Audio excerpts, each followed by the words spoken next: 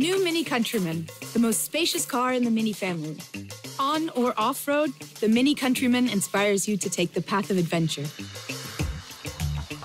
Now let's start by taking a closer look at the new highlights to the Mini Countryman's exterior. Most obviously, the front grille with straight horizontal lines and the new front bumper give the Mini Countryman an even sportier style. With the ALL4 optic pack, the off-road look is even more emphasized. The bumper inlays appear in a modern aluminum matte optic.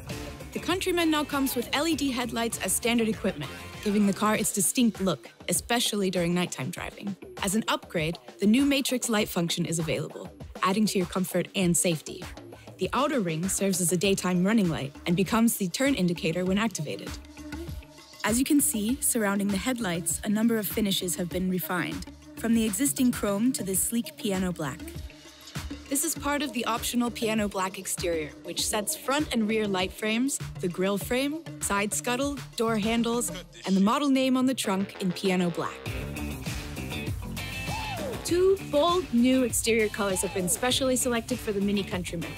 This one is in sage green, and the other color is white silver. A new 17 inch wheel and this new 19 inch turnstile spoke two tone alloy wheel have been added to the possible selections as well. Now to the rear of the Mini Countryman. Most Mini models feature the charismatic Union Jack taillights. With the Countryman, you'll see a new interpretation. The inverted style gives a very sporty, yet still elegant impression, especially when framed in piano black. The new rugged rear bumper comes with a diffuser and inlays, just as in the front, in a modern aluminum matte optic. And as for looks, again, it's up to you.